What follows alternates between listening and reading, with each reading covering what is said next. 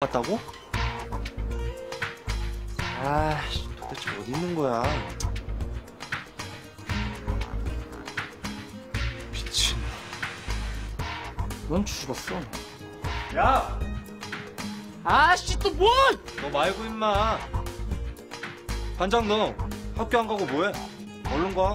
얘들이 그 양아치들이고 잡힌 건 나야 이 바보야. 어딜 가 죽을라고 이씨. 야, 이 양아치 개미 새끼들아.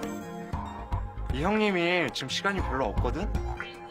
그니까, 얼른 걔 놔주고 꺼져. 형 죽어볼래?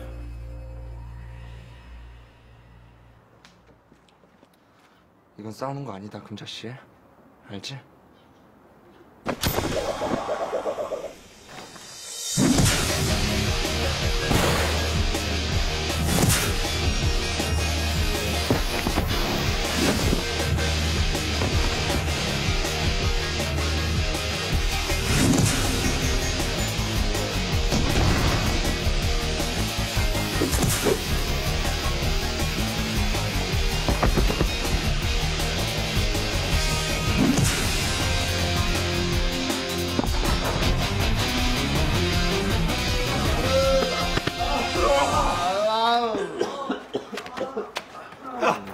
늦었다 가자.